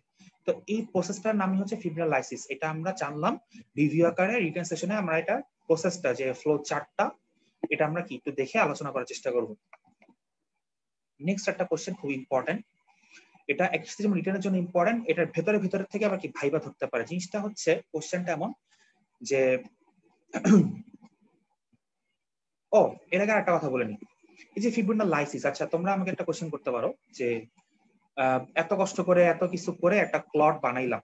এই স্প্যাজম করলাম প্লাটিলেট প্লাগ বানাইলাম blood coagulation intrinsic extrinsic path হয়ে এত ঝামেলা। করে টোরে আবার যে ক্লটটা ফর্মেশন হলো সেটাকে ফিব্রিনোলাইসিস করা কি দরকার ছিল? ইম্পর্টেন্স ফিব্রিনোলাইসিস ফিব্রিনোলাইসিস কি দরকার? ফিব্রিনোলাইসিসের দরকার হচ্ছে এটা দেখো, আমাদের বডিতে ভেসেলের সংখ্যা তো কম না। বড় ছোট মিলে অনেক ভেসেল আছে। এর মধ্যে কিছু ভেসেলকে আমরা বলি মিনিট ভেসেল হ্যাঁ মিনিট ভেসেল কথাটা মানে আমাদের মেডিকেল সায়েন্সে মিনিট যেখানে আসে মিনিটের পরে যদি কোনো এরকম ভেসেল বা যে কোনো কিছুই থাকে মিনিট মানে বলা হয় অতি সূক্ষ্ম, অতি ক্ষুদ্র। মিনিট শব্দের অর্থ হচ্ছে অতি সূক্ষ্ম, অতি ক্ষুদ্র। তো ভেসেল যেগুলা মনে করো একদম আর্টারিওলের টার্মিনাল পার্টগুলা বা একেবারে ভেনিউল যেগুলা, ওগুলা হচ্ছে কি আমার একদম মিনিট ভেসেল তো সেইখানে যদি কোনো কারণে রাপচার হয়, সেই সব জায়গায় হচ্ছে স্পন্টেনিয়াসলি আমার কি ক্লট ফর্মেশন হতে থাকে। কিন্তু এই ক্লটটা মানে রাপচারটা রিকভার হয়ে গেলে আমি যদি ক্লটটাকে রেখে দিই, তাহলে কি হবে? ব্লাড ফ্লোর কারণে ক্লটগুলো আস্তে আস্তে জমে জমে কি আমার বড় ভেসেলগুলোর দিকে চলে আসবে। একটা সময় কি হবে? ক্লটগুলো একটা জায়গায় জমা হয়ে হয়ে থ্রম্বো এম্বলিক ফেনোমেনা তৈরি করবে। সেটা কি? মানে আমার ব্লাড ভেসেলের মধ্যেকার যে লুমেনটা এই ক্লটগুলা ক্লটটা তৈরি করছিলাম একটা ভালো কাজের জন্য ব্লাড মানে ফেসেলার রাপচারকে ক্লোজ করার জন্য। রাপচার ক্লোজ হয়ে যাওয়ার পর এই ক্লটগুলা যদি আমি ডিসোলেট না করি, এটা আমার বড় ব্লাড ফ্লোর সাথে বড় বড় ভেসেল গুলাতে গিয়ে বড় বড় ভেসেলের মধ্যে লুমেনটাকে ব্লক করে দিবে অক্লুড করে দিবে। এই ঘটনাটাকে আমরা বলি থ্রম্বো এম্বলিক ফেনোমেনম যে কোনো একটা কিছু মানে সলিড কেমিক্যাল ব্লাডের লুমেনকে অক্লুড করে দেওয়া। তো সেটা যদি হতো, তাহলে কি আমরা জন্মের এক দুদিনের মধ্যেই মারা যেতাম। কারণ আমাদের মিনিট ভেসেলগুলা সারা দিনই প্রত্যেক মিনিটেই রাপচার হচ্ছে। রাপচার হয়ে আবার সেটা কি নিজে থেকে, আমার হিমোস্টেসিসের মাধ্যমে মেরামত হচ্ছে। কিন্তু ক্লট গুলোকে যদি আমি ডিসলিউট না করি ক্লটটা প্রয়োজনের চেয়ে বেশি পরিমাণ আলস তৈরি হয়, তাহলে কি আমরা দুদিনের মধ্যে আমাদের সবগুলো ভেসেল অক্লুট আমরা মরে যেতাম? না, সেটা হয় না। কারণ কি যে ফিব্রিনোলাইসিস ফিব্রিনোলাইসিস হয়ে আমার হচ্ছে ক্লটটা ডিসলিউট হয়ে যায় এবং কি আমাদের ভেসেলগুলো সেফ থাকে। এটা হচ্ছে ফিব্রিনোলাইসিস ইম্পর্টেন্স এটা খুব ইম্পর্টেন্ট ফাইবার কোশ্চেন হ্যাঁ এটা খুব ইম্পর্টেন্ট ফাইবার কোশ্চেন রিটেনে আসলেও আসতে পারে, তবে ভাইবার জন্য বেশি ইম্পর্টেন্ট নেক্সট আমরা জানব, এই যে আমাদের বডিতে নর্মালি ভেসেল দিয়ে ব্লাড ফ্লো হচ্ছে এবং কোশ্চেনটা এবং আমরা বলি ব্লাডের মধ্যে অলওয়েজ ক্লটিং ফ্যাক্টরও থাকতেছে। তো এই যে এত কিছু যে থাকতেছে, তারপরে আমাদের ভেসেলের মধ্যে ব্লাড কেন ক্লট হয় না? কোশ্চেনটা রিটার্ন এইভাবে আসে যে why does not blood clot intravascularly ভেসেলের মধ্যে ব্লাড কেন ক্লট হয় না? তো এইটা যদি আমি একটু বলি এটা একটা রিটার্নের কোশ্চেন মোটা দাগের তিন চারটা উত্তর আছে। Endothelial surface factor, speed of blood flow, presence of natural anticoagulant, আর হচ্ছে ফিব্রিনোলাইসিন নামে একটা কেমিক্যাল আছে। দেখো এন্ডোথেলিয়াল সারফেস ফ্যাক্টর কি? আমি যদি একটু সংক্ষেপে বলে যাই রিভিউ আকারে, তোমরা তো পড়বা, এটা মুখস্থ করবা কতটা রিটেনের কোশ্চেন হ্যাঁ যে আমাদের ব্লাড ভেসেলের মধ্যেকার যে লেয়ারটা এন্ডোথেলিয়াম এটা খুব স্মুথ এবং এর মধ্যে গ্লাইকোক্যালিক্স লেয়ার আছে। এই কারণে কি হয়? এখানে ক্লট আটকা থাকতে পারে না। ক্লট আটকা থাকতে পারে না ক্লট হচ্ছে ফ্লো করে চলে যায়। স্পিড অফ ব্লাড ফ্লো ভেসেলের মধ্যে ব্লাড অলওয়েজ কি? মানে আর্টারিয়াল প্রেসার হাই থাকে, ফলে ব্লাড স্পিডে ফ্লো হয়। এই কারণে কোনো ক্লট ব্লাড ভেসেলের মধ্যে আটকে থাকতে পারে না। সেকেন্ডলি হচ্ছে ন্যাচারাল কিছু অ্যান্টিকোয়াগুলেন্ট আছে হেপারিন অ্যান্টিথ্রমিন থ্রি ফিব্রিন হ্যাঁ প্রোটিন সি প্রোটিন এস এই ন্যাচারাল অ্যান্টিকোয়াগুলেন্টগুলোর জন্য কি আমাদের বডিতে ক্লটগুলা ডিসলিউট হয়ে যায়। এই জন্য কি ক্লট জমে থাকতে পারে না। আর ফিব্রিনোলাইসিন নামে একটা কি, একটা এনজাইম আছে। এই ফিব্রিনোলাইসিন এনজাইমগুলা কি ফিব্রিনকে ভেঙে ফেলে। ফিব্রিনকে ভেঙে ফেলে, যার কারণ ক্লট আর ক্লট থাকে না ডিসলিউট হয়ে যায়। এটা হচ্ছে রিভিউ আকারে বললাম। আর ভেতরে যে ব্যাখ্যাগুলো, এটা কি আমাদের জন্য একটু এলাবোরেটলি পড়তে হবে, কারণ এটা সাধারণত তিন মার্কের কোশ্চেন আকারই থাকে। তো আমরা একটু ডিটেলে লেখার চেষ্টা করব। সামার ডিলে সবসময় বলছি রিটার্নে কি? টাইম আন্দাজ করে লেখা। তো গেল। এবার যে বললাম অ্যান্টিকোয়াগুলেন্ট অ্যান্টিকোয়াগুলেন্ট আসলে কি কি আছে? অ্যান্টিকোয়াগুলেন্ট ন্যাচারাল কিছু আছে কিছু আছে কমন ন্যাচারালগুলো আমরা একটু জানলাম already heparin antithrombin C antithrombin three protein C protein S fibrin হ্যাঁ? তারপরে এগুলো হচ্ছে কি আমাদের বডির ভেতরে থাকে যে যে অ্যান্টিকোয়াগুলেন্টগুলো আমাদের বডিতে ব্লাডের মধ্যে অলরেডি থাকে, সেগুলো হচ্ছে ন্যাচারাল আর আমরা কিছু কৃত্রিম ভাবে কিছু অ্যান্টিকোয়াগুলেন্ট আমাদের ল্যাবে টেস্ট করার পারপাজে ইউজ করি। সেগুলো কি? পল হেলার্স মিক্সচার হ্যাঁ potassium oxalate three point eight percent sodium citrate হ্যাঁ তারপর হচ্ছে হেপারিনকে আমরা আলাদাভাবে ইউজ করি। এটা এটা আবার মানে ল্যাবরেটরি ইউজ অ্যান্টিকোয়াগুলেন্টের মধ্যেও পড়ে। হ্যাঁ তারপর হচ্ছে ইডিটিএ ইডিটিএম হচ্ছে ইথিলিন ডাইমিন টেট্রাসিটিক অ্যাসিড, এটা আমরা জানি। এটা অনেক সময় জিজ্ঞাসা করে প্র্যাকটিক্যাল পরীক্ষা যখন টিচাররা আসে চেক করতে খাতা, তখন হচ্ছে প্র্যাকটিক্যাল একটা ফাইবা হয়। প্র্যাকটিক্যালের উপর তখন ওই তোমার এই যে অস্পিগুলো থাকে যে তোমার ব্লাড গ্রুপিং এর অস্পি তারপরে হচ্ছে তোমার ওই যে ব্লিডিং টাইম ক্লটিং টাইম নির্ণয়ের যে অস্পিন না প্র্যাকটিক্যাল তো সেখানে তোমার টিচার ফুটফাট করে জিজ্ঞেস করে ফেলতে পারে যে ইরিটিয়ার ফুল ফর্ম বলো। তো তখন কিন্তু তোমাকে জানতে হবে যে, ইথিলিন ডায়ামিন টেট্রাসিটিক অ্যাসিড এটা হচ্ছে কি ইডিটিএ তো মোটামুটি কেউ ইন্টিগ্রেশনের নাম জানবা হচ্ছে তোমার অবজেক্টিভের জন্য কজ ওই যে ন্যাচারাল এবং ল্যাবরেটরি ইউজ অ্যান্টিকোয়াগুলেন্টের মধ্যে ট্রু ফলস করে কি তোমার অবজেক্টিভ আসতে পারে। এরপর হচ্ছে পার্টিকুলার প্যাথোলজিক্যাল যে পড়াশোনা ফিজিওলজি উল্টাটাই হচ্ছে প্যাথোলজি তো এটা হচ্ছে ব্লিডিং ডিসঅর্ডার ব্লিডিং ডিসঅর্ডার অনেকগুলো কারণে হতে পারে পার্টিকুলার ডেফিসিয়েন্সি কারণে হতে পারে জেনেটিক কারণে হতে পারে, আমার যে ভেসেল দিয়ে ব্লাড যাচ্ছে ভেসেলের মধ্যে কোনো ডিফেক্ট যদি থাকে সেই কারণে হতে পারে, কোনো ড্রাগের কারণে হতে পারে।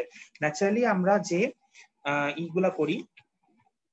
আমরা প্রফের জন্য যে জিনিসগুলো নিয়ে আলোচনা করি, সেগুলো হচ্ছে পারপিউরা। পারপিউরা এবং কি? হিমোফিলিয়া। হিমোফিলিয়া আসলে আমি এখন কিছু বলব না, কারণ তোমরা সবাই হচ্ছে কি অ্যাডমিশন টেস্ট দিয়ে মেডিকেল আসছো এবং আমাদের যে ইন্টারমিডিয়েটের বায়োলজি বইটা ছিল, সেখানে হিমোফিলিয়া নিয়ে যা লেখা ছিল, আমাদের প্রফেট যে বাইরের কিছু ধরেন। তো ওটাই হচ্ছে এনাফ যে হিমোফিলিয়া হিমোফিলিয়া হচ্ছে ব্লাড ক্লট না হতে পারার একটা প্রবলেম যে মানে ফ্যাক্টর এইট আর ফ্যাক্টর নাইনের অ্যাবসেন্সের কারণে হচ্ছে তোমার স্পন্টেনিয়াস কি ব্লিডিং হয়, কোনো জায়গায় কেটে গেলে ব্লাড ক্লট হতে চায় না। তো সেটা হচ্ছে আমার মানে হিমোফিলিয়া দুই ধরনের আছে হিমোফিলিয়া এ এবং হিমোফিলিয়া বি হিমোফিলিয়া বি কে ক্রিসমাস হিমোফিলিয়া বলে, আর হিমোফিলিয়া কে বলে ক্লাসিক হিমোফিলিয়া সাধারণত কি মেইলরা তোমার হচ্ছে এই ডিজিজের ম্যানিফেস্ট করে ফিমেলের জেনারেলি কি ক্যারিয়ার হয়। এটা একটা তোমার ওই যে কি বলে? ওই মেন্ডেস ল যে তোমার বক্স আকারে একটা ছবি আছে, এটা আমি রিটার্ন সেশনের সময় স্লাইড আকারে দেখাবো ইনশাল্লাহ আর হচ্ছে পারপিউরা পারপিউরাটা কি? পারপিউরাটা একটা হিমোফিলিয়ার মতোই স্পন্টেনিয়াস ব্লিডিং বাট এখানে কোনো ফ্যাক্টরের অ্যাবসেন্সের কারণে কোনো কিছু না।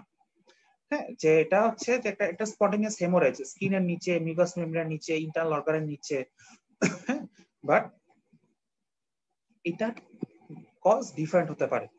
হ্যাঁ কজ এটা আইদার হতে পারে যে আমার সে যে, আমাদের বলি যে প্লাটিলেট কাউন্ট আছে প্লাটিলেট কাউন্ট যদি কমে যায়, সেটা কারণে হতে পারে। এটাকে আমরা বলি থ্রম্বোসাইটোপেনিক পারপিউরা আর অন্য যে কোনো অ্যালার্জিক ইনফেকশন ড্রাগ এইসব কারণে, যেমন আমরা জানি যে ডেঙ্গু রোগ হলে, ডেঙ্গু রোগ হলে কি আমাদের চামড়ার নিচে আমাদের ব্লিডিং হয় সাবকিউটেনিয়াস ব্লিডিং ওটাও কিন্তু এক ধরনের পারপিউরা হ্যাঁ ওটা এক ধরনের পারপিউরা এবং ওইটাতে কি হয়? ওটা হচ্ছে থ্রম্বোসাইটোপেনিক কজ হচ্ছে ডেঙ্গু, কি আমাদের প্লাটিলেট কাউন্ট কমে যায়, এই কারণে কি আমাদের পারপিউরাটা ওটা হচ্ছে থ্রম্বোসাইটোপেনিক পারপিউরা আর নর্মালি অন্য কোনো অ্যালার্জির কারণে বা অন্য কোনো ড্রাগের কারণে আমাদের যদি এরকম স্কিনের নিচে বিন্দু বিন্দুর মতো মানে এই পারপিউরাটা বৈশিষ্ট্য হচ্ছে যে তোমার হেমোরেজগুলো থাকতে পিন হেডের মতো, ছোট ছোট বিন্দুর মতো স্কিনে তোমার ডট ডট আকারে আসবে।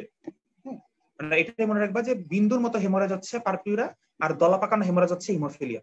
হ্যাঁ এইটা মনে রাখলে দুইটা জিনিসের মধ্যে ভুল হবে না। আর হিমোফিলিয়া হচ্ছে ফ্যাক্টর এইটা নাইনের অ্যাবসেন্স আর পারপিউরা হচ্ছে আইদার থ্রম্বোসাইটের কাউন্ট কমে গেলে হবে অথবা কোনো অ্যালার্জি ইনফেকশন ড্রাগ এগুলোর কারণে হলে আমার পারপিউরা হবে। কোথায় হবে? স্কিন হতে পারে মিকাস মেম্ব্রেনের নিচে হতে পারে। হ্যাঁ ইন্টারনাল অর্গান আমাদের লিভার হার্ট এইগুলারও মানে তোমার যে ইয়েরা থাকে, মূল আবরণটা উপরে তার নিচেই হতে পারে। হ্যাঁ আমার হার্টের পেরিকার্ডিয়ামের নিচে হতে পারে বা এপিকার্ডিয়ামের নিচে তোমার পারপিরা হতে পারে। লিভার অনেক সময় পারপিরা হলেও হতে পারে। হ্যাঁ এটা ইন্টারনাল অর্গান গুলোতে হতে পারে। তো এটা হচ্ছে আমার পারপিরার কজ পারপিরার সাইডটা বললাম, সারা বডি স্কিনে যে কোনো জায়গায় ইন্টারনাল অর্গান গুলোতে মিকাস মেমব্রেন যেখানে আছে, যেমন মুখের মধ্যে মিকাস মেমব্রেন হ্যাঁ তারপরে হচ্ছে তোমার যে চোখের নিচে পালপেপল কনজাংটিভা এখান দিয়েও তোমার পারপিরা হতে পারে। স্কিনে তো তোমার এসব জায়গা তো হতেই পারে। তো বললামই। আচ্ছা পারপিউরা এবার আমরা একটা কথা যে বলব, সেটা হচ্ছে লাস্ট এখানে, এরপর আমরা নেক্সট আইটেমে চলে যাব টপিকটা হচ্ছে থ্রম্বোসাইটোপেনিয়া থ্রম্বোসাইটোপেনিয়া কি? প্লাটিলেট কাউন্ট কমে যাওয়া। কত নিচে? প্রতি মিলিমিটার কিউব ব্লাডে যদি দেড় লাখের নিচে ওয়ান পয়েন্ট ফাইভ লাখের নিচে যদি থ্রম্বোসাইট কাউন্ট কমে যায়, সেটাকে আমরা বলি থ্রম্বোসাইটোপেনিয়া আচ্ছা এখন থ্রম্বোসাইটোপেনিয়া যে প্লাটিলেট এটা এখন মতো মনে রাখবা কেমনে? প্লাটিলেটের আরেক নাম কিন্তু থ্রম্বোসাইট কজ কি? প্লাটিলেট হচ্ছে থ্রম্বাস ফরমেশন করে ক্লট ক্লটের নাম হচ্ছে থ্রম্বাস ফরমেশন প্লাটিলেট থ্রম্বাস ফরমেশনের মূল ভূমিকা পালন করে দেখে প্লাটিলেটের আরেক নাম হচ্ছে কি? থ্রম্বোসাইট থ্রম্বোসাইটোপেনিয়া মানে হচ্ছে থ্রম্বোসাইটের কাউন্ট কমে যাওয়া, সেটা প্রতি মিলিমিটার কিউব অফ ব্লাডে ওয়ান পয়েন্ট ফাইভ লাখের নিচে নেমে যাওয়া। সেটা হচ্ছে থ্রম্বোসাইটোপেনিয়া সরি বলা শুকাচ্ছে। সেটা হচ্ছে থ্রম্বোসাইটোপেনিয়া তো এই ছিল আমার মোটামুটি প্লাটিলেট থেকে আমরা যে আলোচনাগুলো করব, সেগুলো। এখন আমরা খুব একটা ইম্পর্টেন্ট টপিক এটা তোমার অস্পিতে রিটেনে ভাইবায়, আলহামদুলিল্লাহ অনেক কোশ্চেন এখান থেকে ধরে। তবে খুব বেশি যে ভ্যারাইটি কোশ্চেন ধরে তা না। টপিকটা হচ্ছে ব্লাড গ্রুপিং ব্লাড গ্রুপিং আমরা ব্লাড গ্রুপিং নিয়ে আলোচনা করব মিসম্যাচ ব্লাড ট্রান্সফিউশন এবং তার ফলে কি হতে পারে, সেই জিনিসগুলো নিয়ে আমরা মিলে আলোচনা করব। আচ্ছা ব্লাড গ্রুপিং ব্লাড গ্রুপিংটা অ্যাকচুয়ালি কি? সংজ্ঞা তো তোমরা পড়বাই সংজ্ঞা আমি কোনো কথা বলব না। ব্লাড গ্রুপিংটা অ্যাকচুয়ালি কি? ব্লাড গ্রুপিংটা হচ্ছে এক ধরনের ব্লাডের ক্লাসিফিকেশন সোজা কথা ব্লাডের এক ধরনের ক্লাসিফিকেশন কথা হচ্ছে কিসের উপর? ক্লাসিফিকেশন তাহলে আজকে আমরা কিসের উপর বেস করে ক্লাসিফিকেশন করি। সে ক্লাসিফিকেশনটা কিসের উপরে বেস করে? ক্লাসিফিকেশনটা হচ্ছে আমাদের ব্লাডে যে আরবিসি থাকে আরবিসি তে কিছু বিশেষ ধরনের অ্যান্টিজেন থাকে। এই অ্যান্টিজেনের প্রেজেন্স এবং অ্যাবসেন্সের উপর ভিত্তি করে ব্লাডের যে ক্লাসিফিকেশন সেটার নামই হচ্ছে কি ব্লাড গ্রুপিং সেটার নাম হচ্ছে ব্লাড গ্রুপিং এখন কত ধরনের ক্লাসিফিকেশন আছে তাহলে? কত ধরনের ব্লাড গ্রুপিং আছে? দেখো মেজর গ্রুপিং হচ্ছে তিন ধরনের। ABO blood grouping Rh blood grouping আর হচ্ছে কি MN blood grouping ABO blood গ্রুপিংটা হচ্ছে আমাদের আরবিসি গুলোতে এ বি ও নামে কিছু অ্যান্টিজেন থাকে, আবার নাও থাকতে পারে। সেগুলোর উপর ভিত্তি করে আরএইচ ব্লাড গ্রুপিংটা হচ্ছে আরএইচ নামে এক ধরনের অ্যান্টিজেন থাকে আমাদের আরবিসি গুলোতে। সেটা থাকা না থাকা নিয়ে এক ধরনের ক্লাসিফিকেশন আর এম এনটা হচ্ছে তাই। এম এর নাম এম এবং এন নামে কিছু অ্যান্টিজেন থাকে। বিজ্ঞানীদের ইচ্ছা হয়েছে তাই দিচ্ছে। তো এই নাম যে অ্যান্টিজেন এগুলার প্রেজেন্স বা অ্যাবসেন্স উপর ভিত্তি করে কি? আমার ক্লাসিফিকেশন আর ধরনের ব্লাড গ্রুপিং এগুলো হচ্ছে মেজর ক্লাসিফিকেশন আবার কিছু মাইনর ক্লাসিফিকেশন আছে। যেমন মানে যেটা মনে থাকে না লুই স্কেল ক্যাট আর কি আছে? ডাফি হ্যাঁ এই ধরনের কিছু মাইনর মাইনর ক্লাসিফিকেশন আছে, এগুলো তো জানতে হবে না। হ্যাঁ দুই, তিনটা মনে রাখতে পারো জাস্ট ফর মানে সেইং বা লেখার জন্য। লেখার সৌন্দর্য বাড়বে আচ্ছা এখন এবিও ব্লাড গ্রুপ নামে কিছুক্ষণ কথা বলব।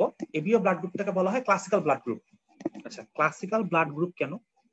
ক্লাসিক্যাল ব্লাড গ্রুপ কেন? এই কথাটা উত্তর দেওয়ার আগে আমি তোমাদের সাথে একটা টপিক নিয়ে আলোচনা করব, সেটার নাম হচ্ছে ল্যান্ড স্টেইনার্স ল আচ্ছা ল্যান্ড স্টেইনার্স যে লটা এটা দেখো আমাদের যে ব্লাড গ্রুপিং এই যে ব্লাডকে যে এভাবে ক্লাসিফিকেশন করা যায়, এই ক্লাসিফিকেশনটা প্রথম কে করেন? করেন হচ্ছে আমার একজন জার্মান সায়েন্টিস্ট যার নাম ছিল কার্ল ল্যান্ডস্টেইনার উনি প্রথম যে ক্লাসিফিকেশনটা করেন, সেটা হচ্ছে এবিও যে ক্লাসিফিকেশনটা এটা হচ্ছে উনি এই ক্লাসিফিকেশনের প্রবক্তা।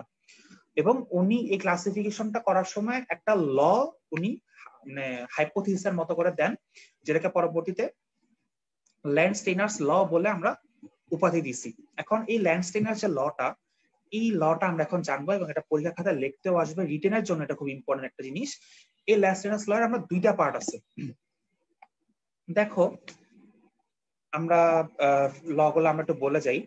লয়ের ফার্স্ট পার্টে বলা হচ্ছে, আমি পড়ে শুনাই যেহেতু law if an agglutinogen is present in the red cells of a blood RBC মানে রেড সেলস রেড সেলসে যদি একটা অ্যাগ্লুটিনোজেন প্রেজেন্ট থাকে, তাহলে the corresponding agglutinin must be absent from plasma একটা ব্লাডে সেল থাকে প্লাজমা থাকে।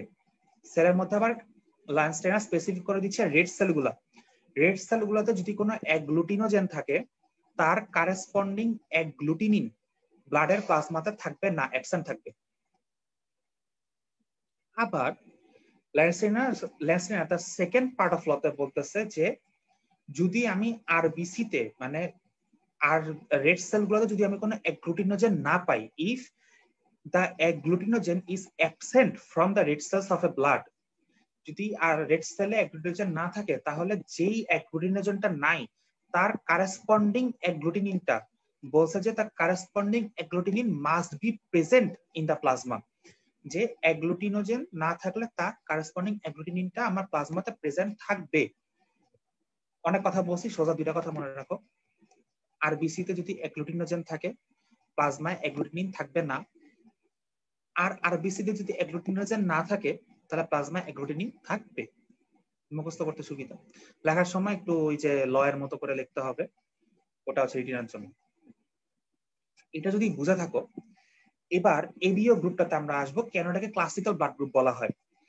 দেখো রিজনটা আমি তোমাকে বলি। রিজনগুলা হচ্ছে যে, এটা one of the principal blood group এটা আমরা জানি যে প্রিন্সিপালের মধ্যে এবিও আর এইচ আর হচ্ছে এমএন তাহলে এবিও হচ্ছে one of the principal blood group এবং সেকেন্ড রিজনটা হচ্ছে এবিও ব্লাড গ্রুপ ল্যান্ডস্টেইনারের এই দুইটা সূত্রের দুইটা যে পার্ট দুইটাই মেনে চলে। তাহলে কি বাকি দুইটা মানে না? উত্তর হচ্ছে হ্যাঁ মানেন না। কীভাবে মানে না, সেটা আমি একটু পরে আসতেছি। আচ্ছা। আগে যার মানে ভদ্র ছেলেদের আগে শেষ করি। আচ্ছা তো এবিও ব্লাড গ্রুপ হচ্ছে ল্যাস্টেনার স্লয়ের দুইটা পার্টে দুইটাই কি ফলো করে। আর এবিও ব্লাড গ্রুপের যদি মিসম্যাচ ট্রান্সফিউশন হয় সাপোজ একটা মানুষের ব্লাড গ্রুপ হচ্ছে এ তুমি তার ঢুকে দিলে বি এটা খুব মানে ফ্যাটাল একটা অকারেন্স ক্রিয়েট করবে মানুষের মানে যার শরীরে তুমি ভুল ব্লাডটা দাও। হ্যাঁ পজিটিভ নেগেটিভ প্রশ্ন পরে। একটা মানুষের ব্লাড গ্রুপ হচ্ছে ও মানে এ সাপোজ আমার ব্লাড গ্রুপ হচ্ছে এ তো তুমি যদি আমার শরীরে বি এর কোনো ব্লাড দিয়ে দাও, আমি মনে করো মানে পাঁচ, দশ মিনিটের মধ্যে ফিনিশ মানে এটার মিসম্যাচ ট্রান্সফিউশনের হ্যাজার্ড অনেক বেশি। হ্যাঁ মানে এবিও ব্লাড গ্রুপের মধ্যে যদি মিসম্যাচ ট্রান্সমিশন করো, এক গ্রুপের ব্লাডের মধ্যে নতুন ব্লাড ঢুকায় দাও, এটা যে হ্যাজার্ড হবে, এটা ফ্যাটাল এবং কোন কোন ক্ষেত্রে লিথাল হ্যাঁ এটা ফ্যাটাল ক্ষতিকর তো অবশ্যই, চরম ক্ষতিকর। কোন কোন ক্ষেত্রে এটা প্রাণঘাতী লিথাল এখন দেখো, আমরা যে বললাম যে এটা ল্যান্ডস্টেনের দুটা পার্ট মানে দেখো, এই যে এ বি আর ও কথাগুলো বলতেছি, তাহলে A capital A capital B capital O এগুলো হচ্ছে অ্যান্টিজেন ও মানে হচ্ছে কোন অ্যান্টিজেন নাই। এ আর বি হচ্ছে কি? এ বি ব্লাড গ্রুপের মেইন অ্যান্টিজেন তো আমার আরবিসি তে যদি ক্যাপিটাল এ অ্যান্টিজেন থাকে, এটা আমি ডিটেইলে স্লাইডে আর কি সুন্দর করে দেখাবো। তাহলে আমার প্লাজমায় হচ্ছে অ্যাগ্লোটিনিনটা থাকবে স্মল বি আরবিসি তে যদি ক্যাপিটাল বি অ্যাগ্লুটিনোজেন থাকে, তাহলে আমার প্লাজমায় অ্যাগ্লুটিন থাকবে হচ্ছে স্মল এ আর যদি আমার আরবিসি তে এ বি দুটা অ্যান্টিজেনই থাকে প্লাজমায় কোন অ্যাগ্লুটিনিন থাকবে না। আর আরবিসি যদি কোন অ্যাগ্লুটিনোজেনই না থাকে, প্লাজমাতে স্মল এ স্মল বি দুই থাকবে। তাহলে আমরা বুঝতে পারলাম যে ল্যান্সিনা যা যা বলছে এবিও ব্লাড গ্রুপ তার সবগুলা কথাই শুনতেছে। তাহলে আমি যে বললাম যে আরিচ যেটা আরিচ ফ্যাক্টর ল্যান্সিনার লটা যে মানে না, কোথায় মানে না? তাহলে এখন আমরা আগে আরিচ ফ্যাক্টর সম্বন্ধে আগে জানি। আরিচ ফ্যাক্টরটা আসলে কি? আরএইচ ফ্যাক্টরের মূল নামটা হচ্ছে research factor research factor Rhesus ফ্যাক্টরটা হচ্ছে রিসার্চ নামে এক ধরনের বানরের শরীর থেকে আমরা ব্লাড এক্সাম করে এক ধরনের অ্যান্টিজেন পাওয়া যায়। যে অ্যান্টিজেনগুলো পরবর্তী দেখা যায় মানুষের শরীরে যার বেশি সেখানেও আছে।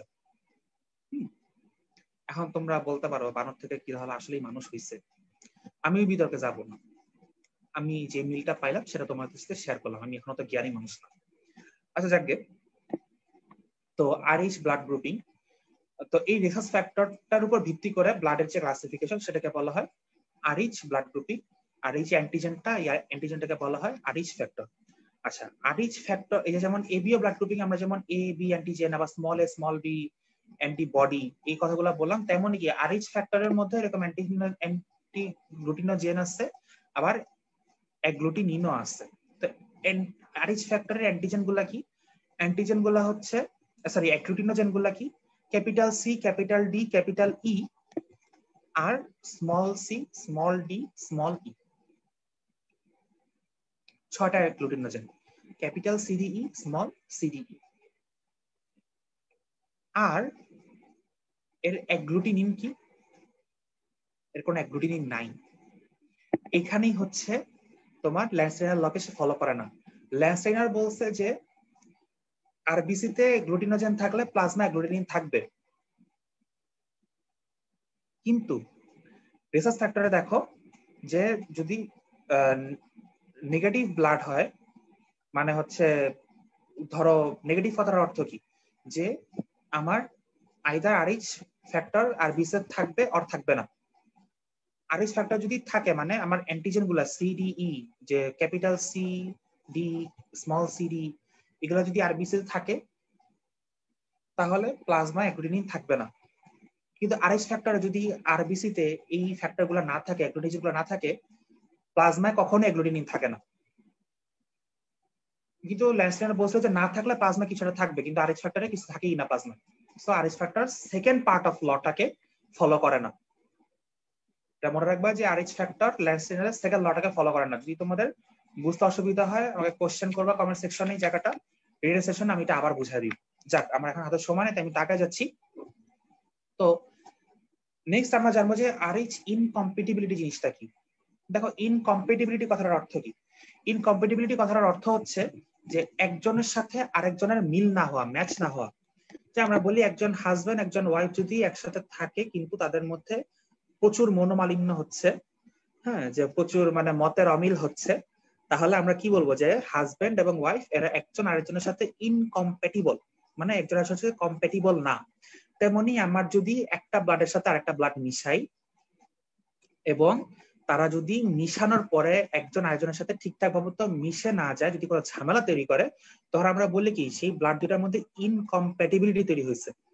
যেমন এবিও ব্লাড গ্রুপের মধ্যে যদি আমি এই গ্রুপের ব্লাডে বি গ্রুপের ব্লাড মেশাই, তাহলে কি, এটা একটা ইনকম্প্যাটিবিলিটি ক্রিয়েট হলো।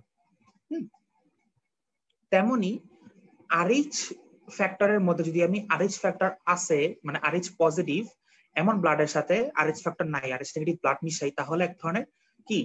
অসামঞ্জস্য ইনকম্পেটিবিলিটি তৈরি হবে। এখন আরএইচ ইনকম্পেটিবিলিটি কখন কখন তৈরি হতে পারে?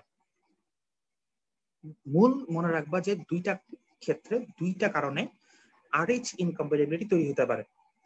যেমন ফর এক্সাম্পল আমি তোমাদেরকে রিভিউ দিচ্ছি কেমিস সাজিদ আমার ব্লাড গ্রুপ হচ্ছে এ পজিটিভ কথাটা হইল মানে অনেক সময় কি করে, ভাইবার টেবিলে তোমাকে জিজ্ঞেস করবে, তোমার সাপোজ ধরো ব্লাড গ্রুপিং এর কোন একটা কার্ড তুলতে বলল কার্ডটা হচ্ছে ব্লাড গ্রুপিং এর কোনো কোশ্চেন ওয়ালা কার্ড তুমি ওই কোশ্চেনের অ্যান্সার দিলা কি দিলা না?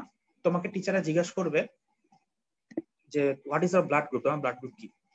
সাপোজ আমাকে জিজ্ঞেস করলাম বললাম যে এ পজিটিভ তখন তোমাকে বলছে এক্সপ্লেইন ইউর ব্লাড গ্রুপ বা তোমার ব্লাড গ্রুপের মধ্যে কি কি, কয় ধরনের গ্রুপিং আছে? এভাবে ভাঙতে বলব তোমাকে গ্রুপটাকে তুই বলবা যে আমার ব্লাড গ্রুপ এ পজিটিভ এর মধ্যে এবিও ব্লাড গ্রুপ অনুসারে আমার বডিতে আর বিসিতে এ অ্যান্টিজেন আছে এবং প্লাজমায় স্মল বি অ্যান্টিবডি আছে, তাই আমার ব্লাড গ্রুপ এ আর আমার আরবিসিতে রেসাস ফ্যাক্টরের প্রেজেন্স আছে তাই হচ্ছে পজিটিভ আমি আরএইচ পজিটিভ তাই আমার ব্লাড গ্রুপ হচ্ছে কি? আর আরএইচ এ পজিটিভ এবং যার যারটা যেরকম, এভাবে কি মিলিয়ে বলতে হবে। ঠিক আছে? এখন আমাকে যা সাপোজ ধরো, আমি এ ব্লাডও দিল এ কিন্তু আমি তো এ পজিটিভ আমাকে ধরো ব্লাড দিয়ে দিল এ নেগেটিভ তখন আমার বডিতে একটা ইনকম্পেটিবিলিটি ক্রিয়েট হবে, সেটাকে বলা হচ্ছে আরএইচ ইনকম্পেটিবিলিটি সেটা কখন হতে পারে? যে অলরেডি বলে ফেলছি। ব্লাড ট্রান্সফিউশনের সময়, আমাকে যদি আরএইচ নেগেটিভ ব্লাড দেওয়া হয় আরএইচ পজিটিভ কে যদি আরএইচ নেগেটিভ ব্লাড দেওয়া হয়, তাহলে কি? আমার যে বডিতে যে ইনকম্পেটিবিলিটি তৈরি হবে, সেটা হচ্ছে Rh incompatibility naturally Rh positive শরীরে তুমি যদি আরএইচ নেগেটিভ ব্লাড দাও ইনকম্পেটিবিলিটি তৈরি হয় না। সাধারণত যে মানুষের শরীরে আরএইচ নেগেটিভ ব্লাড আছে, যেমন সাপোজ আমি যদি এ নেগেটিভ পার্সন হইতাম, তো আমার শরীরে হচ্ছে কি? মানে অ্যান্টিজেনটা নাই অ্যাগ্লুটিনোজেনটা নাই আরএইচ অ্যাগ্লুটিনোজেনটা নাই। তুমি বাইরে থেকে একটা আরএইচ পজিটিভ ব্লাড দিলা। তখন আমার বডি ওই আরএইচ পজিটিভ ব্লাডে আর বিসিতে যে অ্যান্টিজেনটা আছে আরএইচ অ্যান্টিজেনটা বা আরএইচ অ্যাগ্লুটিনোজেনটাকে একটা ফরেন বডি হিসেবে চিন্তা করে এবং তার এগেনস্টে অ্যান্টিবডি তৈরি করে। সো এখানে একটা ইনকম্পিটিবিলিটি ক্রিয়েট হয়। কিন্তু আমি যেখানে এ পজিটিভ আমার আরবিসিতে তো অলরেডি একটা অ্যাগ্লুটিনোজেন আছে। আর যে আরএইচ নেগেটিভ ব্লাডটা দিচ্ছ, ওখানে তো অ্যাগ্লুটিনোজেন নাই। সো আমার তো তার সাথে তার কোনো ঝামেলা হবে না।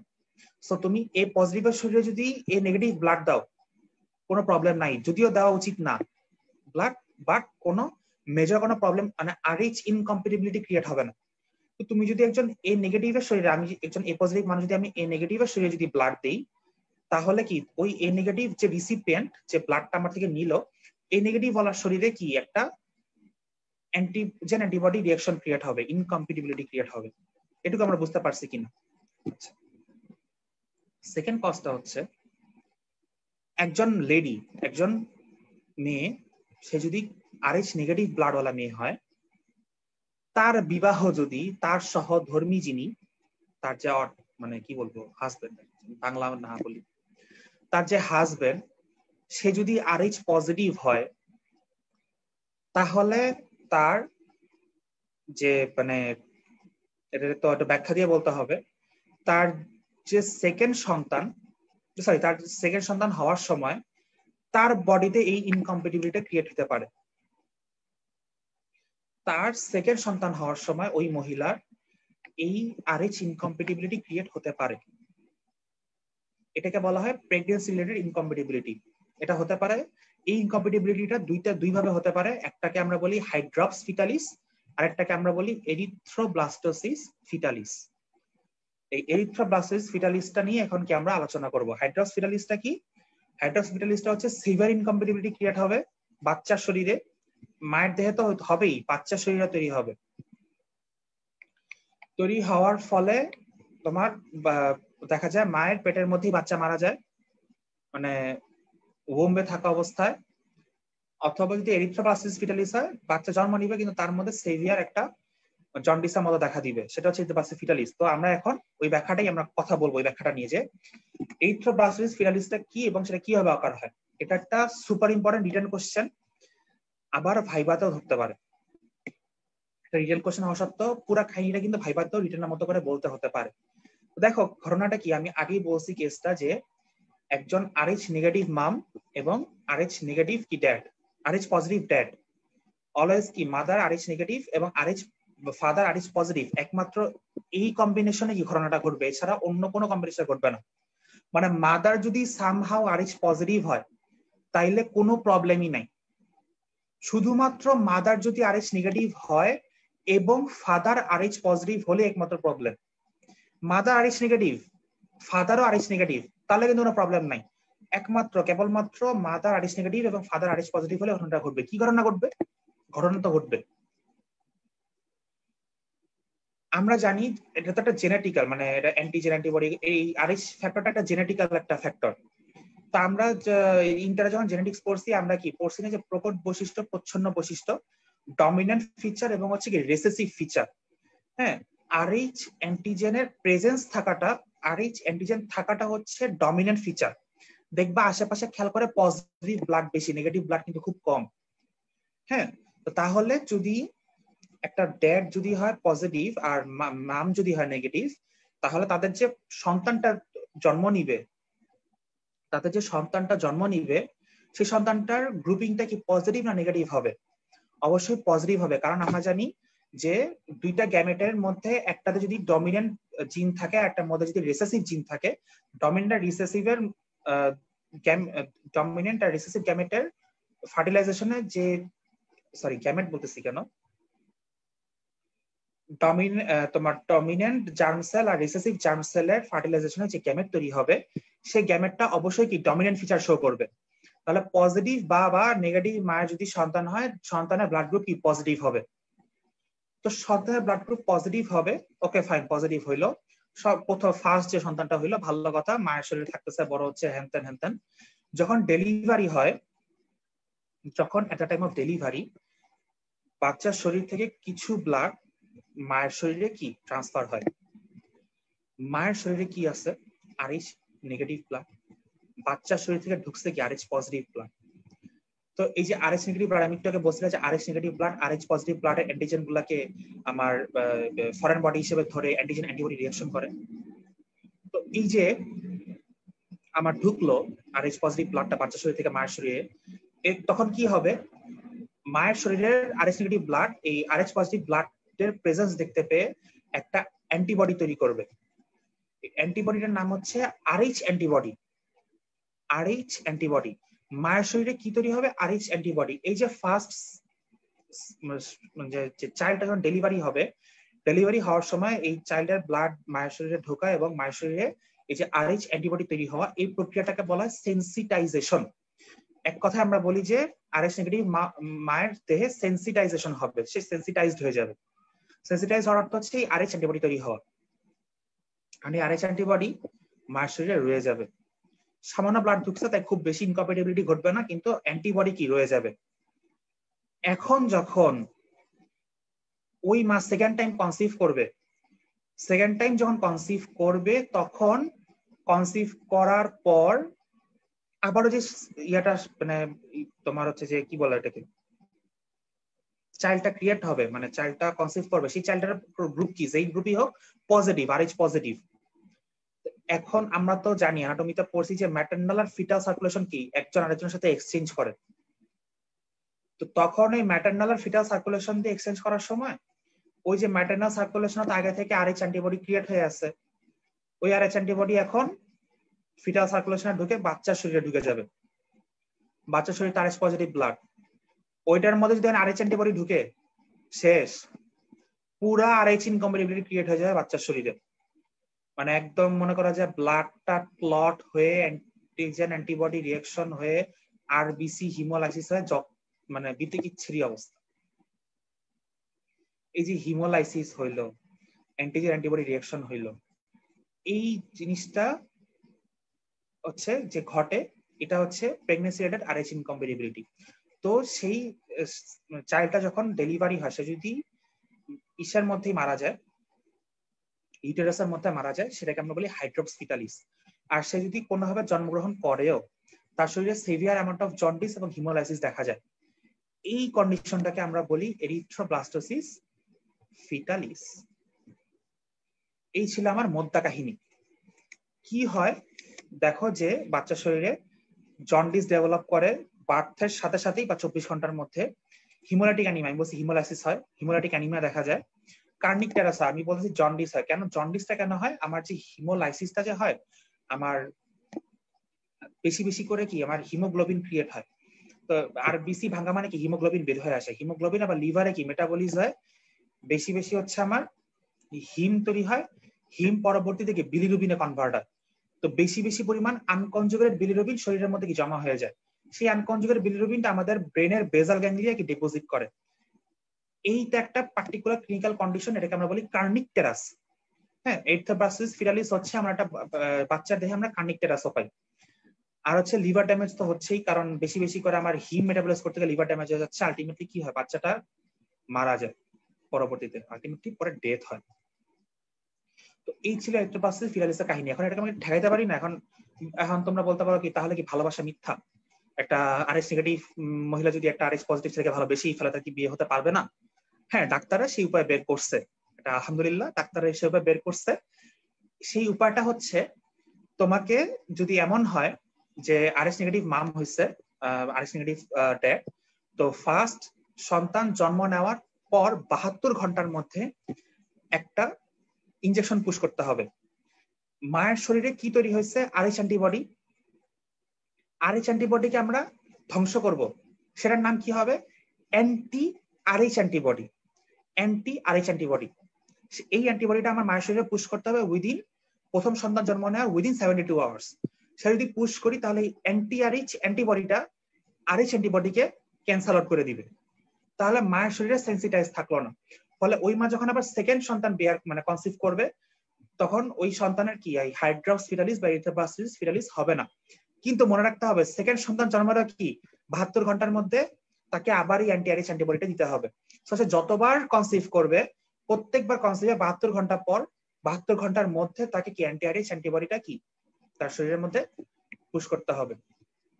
এই একটা জিনিস হচ্ছে মাথায় রাখতে হবে এবং যখন ডেলিভারি হবে প্লাসেন্টার মধ্যে দিয়ে যেন বেশি পরিমাণ ব্লিডিং না হয়, এটা যেন খেয়াল রাখে। কারণ ওই বাচ্চা শরীরে ব্লাডগুলো যদি বেশি পরিমাণে মায়ের শরীরে চলে আসে চলে আসে তাহলে কি, এটা একটা শরীরে আবার কি? একটা বিরূপ প্রতিক্রিয়া দেখা দিতে পারে। সেটা কি আমার ইয়ে করো মেইন কথাটা হচ্ছে অ্যান্টিআরিচ অ্যান্টিবডি অ্যাডমিনিস্ট্রেশন এটা আমাদের কি খেয়াল রাখতে হবে? হ্যাঁ এই কাহিনীটা খুব আমার আমার খুব প্রিয় একটা টপিক ছিল এবং এটা আমি আমার ক্লাসের ছেলে মেয়েদের কারণে ডেমো দিতাম। জানি না কেন, আমার খুব ভালো লাগতো এরপরে আমার এখানে বাকি যে টপিকগুলো ছোট ছোট, আমি দ্রুত শেষ করে ফেলব। একটা টপিক হচ্ছে এই যে ক্রস ম্যাচিং ক্রস ম্যাচিং আগে একটু বলতে পারি যে ব্লাড গ্রুপের ইম্পর্টেন্সটা কি? মানে ব্লাড গ্রুপ আমরা দেখতে চাই কেন? একটা তো একটাতে যে বললাম আরিস ইনকম্পেটিবিলিটি আর একটা হচ্ছে তোমার যে এভিও ইনকম্পেটিবিলিটি হ্যাঁ যাতে মেজর হ্যাজার্ড না হয়। তারপর তুমি বলতে পারো যে ক্রিমিনাল আইডেন্টিফিকেশন অনেক সময় ফরেন্সিকে যারা আমি বিএসএ আসো পরে উঠলে পড়বা। ফরেন্সিক মেডিসিনে ব্লাড গ্রুপিংটা খুব দরকারি। আবার এমএন যে ব্লাড গ্রুপিংটা আছে, এটা দিয়ে আমরা এই যে এমএন ব্লাড গ্রুপিংটা এটা দিয়ে আমরা কি করি বলতো? এটা দিয়ে আমরা প্যাটার্নিটি টেস্ট করি। হ্যাঁ পিতৃত্ব নির্ণয় করি প্যাটার্নিটি টেস্ট এর জন্য কি ব্লাড গ্রুপ গ্রুপিংটা খুব দরকারি। তারপর আছে বিভিন্ন ব্লাড ডিজিজ ব্লাড ডিজিজের জন্য কি ব্লাড গ্রুপিং জানাটা খুব দরকার। এরকম কিছু ইম্পর্টেন্স আছে। ভাইবাতে ভাইবাতে বলার জন্য এগুলো একটু একটু রেডি রাখতে পারো। আচ্ছা ক্রস ম্যাচ যে ব্যাপারটা কি? ক্রস ম্যাচ ব্যাপারটা হচ্ছে যে, আমি সাপোজ ক্রস ম্যাচ ব্যাপারটা আমরা খুব শুনি। আমরা যারা ব্লাড দেই, আমরা যারা বিভিন্ন কলেজের সন্তানের সাথে যুক্ত আছি মানে যে ব্লাড দেওয়ার পরে শুনি যে ক্রস ম্যাচের জন্য পাঠাইছে এটা, সেটা। ক্রস ম্যাচ করতে এক ঘণ্টা মতো টাইম লাগে, এরকম। ক্রস ম্যাচিংটা কি? দেখো, আমি সাপোজ আমি একটা মানুষ, আমি একটু ব্লাড দিব। তো আমি, আমার যে ব্লাডটা যে মানুষটা রিসিভ করবে, সেই মানুষের শরীরে আমার ব্লাডটা যাওয়ার মতো উপযুক্ত কিনা? মানে আমাদের দুইজনের ব্লাড কম্প্যাটিবল কিনা? এটা টেস্ট করার যে প্রক্রিয়া, সেটাকে বলা হচ্ছে ক্রস ম্যাচিং ক্রস ম্যাচিং দুই ধরনের হতে পারে মেজর আর মাইনর ন্যাচারালি আমরা কি করি? যেটা হচ্ছে যে আমরা দুইজনেরই ব্লাড নেই দুজনের ব্লাড থেকে প্লাজমা এবং আরবিসিটাকে আলাদা করা হয়। ডনারের আরবিসি এবং রিসিপিয়েন্টের প্লাজমা দিয়ে যে রিয়াকশনটা করানো হয়, সেটাকে বলা হচ্ছে মেজর ক্রস ম্যাচিং আর উল্টাটা ডনারের প্লাজমা মেজরের রিসিপিয়েন্টের আরবিসি এটা হচ্ছে minor cross matching mainly major cross ম্যাচিংটা বেশি ইম্পর্টেন্ট মেজর ক্রস ম্যাচিং কি করা হয় দেখো? ডনারের আরবিসি নেওয়া হয় আর হচ্ছে রিসিপিয়েন্টের প্লাজমা নেওয়া হয়। তো কোশ্চেন হচ্ছে কেন এটাকে মেজর বলা হয় এবং কেন এই কাজটা করা হয়? তোমাকে প্র্যাকটিক্যালে যখন ব্লাড গ্রুপিং এর যে প্র্যাকটিক্যালটা আছে, ওইটা যখন আসবে, তোমার এই কোশ্চেনটা ভাইবাতে অবশ্যই জিজ্ঞেস করবে যে কেন ক্রস ম্যাচিং এর সময় বা মেজর ক্রস ম্যাচিং এর সময় ডনারের আরবিসি এবং রিসিপিয়েন্টের প্লাজমা নেওয়া হয়? উত্তরটা হচ্ছে, দেখো ডনারের আরবিসি তে কি অ্যান্টিজেন থাকে? তো আর রিসিপিয়েন্টের প্লাজমায় থাকে হচ্ছে অ্যান্টিবডি তো আমি ওই দুইটা হচ্ছে, এই জন্য রিয়াকশন করাবো যে আরবিসিটা তো আমার রিসিপিয়েন্টের প্লাজমার মধ্যে ঢুকবে। কারণ রিসিপিয়েন্টের যে ব্লাড ব্লাডে তো ফিফটি ফাইভ পার্সেন্ট হচ্ছে প্লাজমা হ্যাঁ তো সেই প্লাজমার মধ্যে বিশাল অ্যামাউন্টের অ্যান্টিবডি আছে। তো সেই অ্যান্টিবডিটা আমার আরবিসি অ্যান্টিজেনের সাথে রিয়াকশন করল কিনা, সেটা দেখার জন্য কি আমি ডনারের হচ্ছে আরবিসি নিচ্ছি, আর রিসিপিয়েন্টের নিচ্ছি হচ্ছে প্লাজমা আমি যদি উল্টাটা করি রিসিপিয়েন্টের আরবিসিটা নিই, আর ডনারের নিয়ে হচ্ছে প্লাজমা ডনারের থেকে তো আমি অল্প বিমান ব্লাড নিচ্ছি, এক ব্যাগ ব্লাড তো এক ব্যাগ ব্লাডের কতটুকু প্লাজমা আছে? ওইটা তো আমার ইসের মধ্যে রিসিপিয়েন্টের বডির মধ্যে ডাইলিউট হয়ে যাবে ওটা খুঁজেও পাওয়া যাবে না। তো আমার ওইটা করে লাভ নেই। আমার হচ্ছে ডনারের আরবিসি রিসিপিয়েন্টের প্লাজমা একটা আরেকটার সাথে কি রিয়াকশন করল কিনা, ওইটা হচ্ছে আমার জানার বিষয়। তাই আমরা এই ক্রস ম্যাচিংটা বেশি বেশি করি।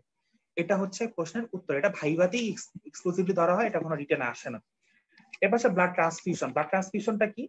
যে আমি একজনের শরীর থেকে আরেকজনের শরীরে ব্লাড দিব। সেটা হোল ব্লাড দিতে পারি মানে টোটাল যেটা আমরা যে ব্লাড তাই না? ব্যাগ সুদ্ধা দিয়ে দেয়। ওটা হচ্ছে হোল ব্লাড আবার বিদেশে কি করা জানো? মানে আমাদের উন্নত ওয়েস্টার্ন কান্ট্রি গুলাতে কিন্তু হোল ব্লাড সাধারণত দেওয়া হয় না। হ্যাঁ এটা হচ্ছে লেস এফিসিয়েন্ট ব্লাড হচ্ছে প্রোডাক্টগুলা প্লাজমা আরবিসি ডাব্লিউবিসি এইগুলা আলাদা করে যার যেটা দরকার তাকে শুধু সেটা দেওয়া হয়। এটা হচ্ছে একটা ব্লাডকে আরও বেশি এফিসিয়েন্ট ওয়েতে খরচ করা। তো আমাদের সংজ্ঞাটা হচ্ছে যে transfusion is the process of transfer of whole blood or blood product from donor's body to recipient is called blood transfusion. ঠিক আছে? ব্লাড ট্রান্সফিউশনের ক্ষেত্রে কি আমাদের অবশ্যই ব্লাড গ্রুপটা মাথায় রাখতে হয় এবং কম্পেটিবিলিটি আছে কিনা সেটা ম্যাচ করতে হয়। আচ্ছা এখান থেকে যে ইম্পর্টেন্ট কোশ্চেনটা আছে সেটা হচ্ছে রিটার্নের জন্য যে হ্যাজার্ডস অফ মিসম্যাচ ট্রান্সফিউশন এটা নিয়ে আসলে আমার কিছু বলার নেই এটা মুখস্থ বিদ্যা। এটা যে যেখান থেকে প্রফের জন্য প্রিপারেশন নিচ্ছ, যেসব বই, যে যা বই পড়তেছো, সব বইতেই লেখা আছে। হ্যাঁ আমার এখানে যেটুকু লেখা আছে, আমি তো বলি ইমিডিয়েট আছে ডিলেড ইফেক্ট আছে, দুই ধরনের effect immediate ইফেক্টগুলা shivering nausea chest back pain pulse respirator বেড়ে যাবে ব্লাড প্রেশার কমে যাবে শক ডেভেলপ করবে। ডিলেড এর মধ্যে হচ্ছে inapparent haemolysis post transfusional jaundice haemoglobinaemia uraemia আর হচ্ছে acute kidney shutdown acute renal shutdown actually তো এই জিনিসগুলো হচ্ছে মিসম্যাচ ট্রান্সফিউশন এটা হচ্ছে রিটার্নের কোশ্চেন এটা মুখস্থ লিখতে হবে। খুব একটা ভাইবাতে ধরে না। এটা রিটার্নের জন্য এক্সক্লুসিভলি ওটা ওভাবে প্রিপারেশন নিবা, আমি রিটার্নের সময় তার বলে দিব ইনশাল্লাহ এরপরে হচ্ছে তোমার একটা লাস্ট কোশ্চেন বলে আমি শেষ করব, সেটা হচ্ছে অ্যাকিউট রেনাল শাটডাউন এই ব্যাপারটা কি? অ্যাকিউট রেনাল শাটডাউন আমি বলতে চাচ্ছিলাম না, কিন্তু দেখলাম যে রিসেন্ট হিস্ট্রিতে ষোলো সালে এই কোশ্চেনটা আসছে লাস্ট এরপরে আর খুব একটা দেখলাম যে আসে নাই। সো এই জন্য আমি একটু একটু ছোট করে বলে দিব যে এটা অ্যাকচুয়ালি কি জিনিসটা? ষোলো সালের পর আর আসেনি অ্যাকিউরেনাল শাটডাউনটা হচ্ছে তোমার যদি মিসম্যাচ ট্রান্সফিউশন হয়, তার সবচাইতে যে লিথাল এফেক্টটা সেই লিথাল এফেক্টটা হচ্ছে অ্যাকিউট রেনাল শাটডাউন এটা তিনটা ভাগে হয় renal vasoconstriction circulatory shock R renal tubular blockage by excess haemoglobin কি হয় দেখো মিসম্যাচ ট্রান্সফিউশনে তোমার হচ্ছে যে আরবিসি অ্যান্টিজেনটা তার সাথে রিসিপেন্টের প্লাজমা অ্যান্টিবডি রিয়াকশন হয়। ফলে কি অ্যান্টিজেন অ্যান্টিবডি রিয়াকশনটা আমার আরবিসির মধ্যে ঘটে। ফলে কি আরবিসি গুলো ভেঙে যায় মেইনলি হিমোলাইসিস হয়। তো হিমোলাইসিস হওয়ার কারণে আমাদের বডিতে প্রচুর পরিমাণে হিমোগ্লোবিন মুক্ত হয়ে যায়। এখন এই যে রিয়াকশনটা যে হয় অ্যান্টিজেন অ্যান্টিবডি রিয়াকশনটা এই রিয়াকশনটা থেকে যে হিমোলাইজ ব্লাড এবং যে কেমিক্যালগুলো রিলিজ হয়, এই রিলিজ হওয়ার কারণে আমার কিডনির মধ্যে যে রেনাল ভেসেলগুলো থাকে, সেই ভেসেলগুলোর ভেসো কনস্ট্রিকশন হয়। ভেসো কনস্ট্রিকশন হয় আমার, যে মানে আমার যে অর্গানটা অর্গানের যে নিজস্ব সাপ্লাই সেই সাপ্লাইটি বন্ধ হয়ে যায়। রেনাল ভেসো কনস্ট্রিকশন সেকেন্ড আমরা বলি হচ্ছে সার্কুলেটরি শক সার্কুলেটরি শক হচ্ছে কি? আমার এই যে দেখো আরবিসি গুলো যে কমে গেল। আরবিসি গুলো কমে যাওয়ার অর্থ হচ্ছে সার্কুলেটরি শকটাকে আমরা শক করছিলাম আর সিভিএস রিভিউতে যে cardiogenic shock circulatory shock haemolytic shock circulatory shock হচ্ছে সার্কুলেশন কোনো প্রবলেম হলো আইদার ব্লাড সেলগুলা তোমার হচ্ছে যে ধ্বংস হয়ে যাওয়া অথবা হচ্ছে ব্লাডের অন্য যে কোনো প্রবলেমের কারণে। লিকেমিয়া হতে পারে আমার থ্রম্বোসাইটোপেনিয়া হতে পারে, তারপরে হচ্ছে কি? আবার এনিমিয়া হতে পারে। হ্যাঁ যে এইসব কারণে যদি কোনো মানে সার্কুলেশনে কোনো প্রবলেম ক্রিয়েট হয়, সেটাকে আমরা বলি যে সার্কুলেটরি শক তো এখানে আমার কি মিসম্যাচ ট্রান্সমিশনের কারণে হিমোলাইসিস হচ্ছে। হিমোলাইসিস হওয়ার কারণে এখানে সার্কুলেটরি শক ক্রিয়েট হচ্ছে। ফলে সার্কুলেটরি শক ক্রিয়েট হওয়ার কারণে কি হয়? কিডনিতে ব্লাডের ফ্লোটা আরও কমে যায়। আর নেক্সট যেটা সবচেয়ে বেশি খারাপ সেটা হচ্ছে রেনাল টিউবুলার ব্লকেজ কেন?